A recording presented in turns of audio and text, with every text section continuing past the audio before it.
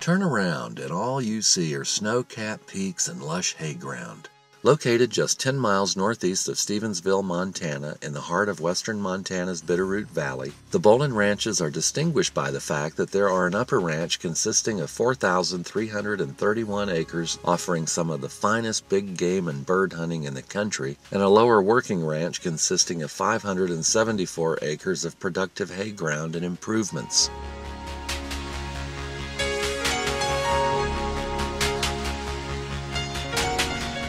Water supplies on the lower ranch are substantial. The land is irrigated from the big ditch of the Bitterroot Irrigation District as well as ponds, wells, and historical water rights.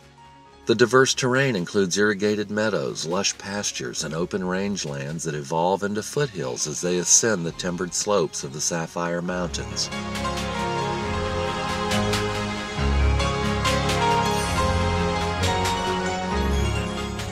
From there, the panoramic views of the Bitterroot Mountains to the west, towering above the valley below, are nothing less than awesome.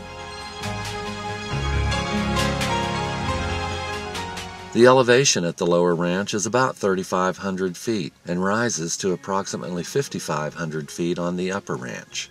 The ranch headquarters consist of a historic barn, shop, sheds, corrals, and pens.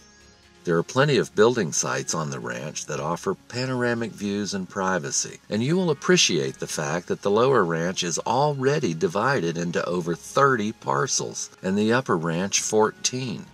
So no matter what the future holds for you, you will have plenty of options.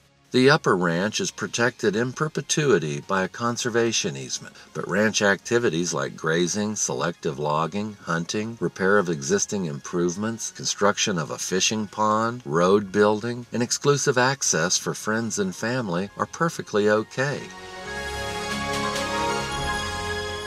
The public is allowed limited access from six parking spaces on the extreme southern edge of the ranch from June until December but it is closed to the public from December until June. The owners and their guests may access the property all year long by any means, mechanical or not, so your privacy is assured. The Bolin Ranches are currently offered for sale at $3.9 million for the lower working ranch and improvements and includes a right of first refusal on the upper conservation lands at $231 per acre or $1 million. The total price for all 4,900 acres and improvements is $4.9 million. So give me a call or drop me a line if you'd like more information or want to schedule a showing. We think it's the best ranch value in the Bitterroot Valley, and we'd love to show it to you.